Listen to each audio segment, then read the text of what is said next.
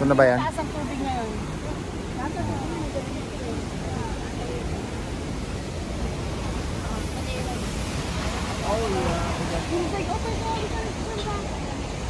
Ay, na tubig ako malayo. Dati, malapit.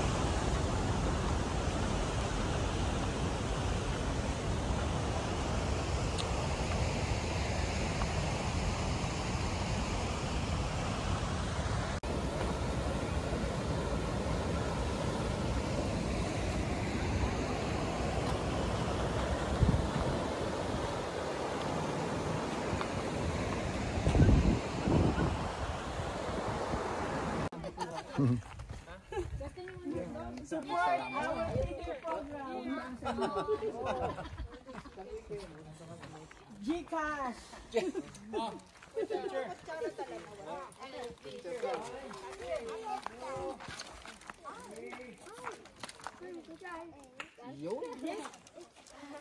That's good.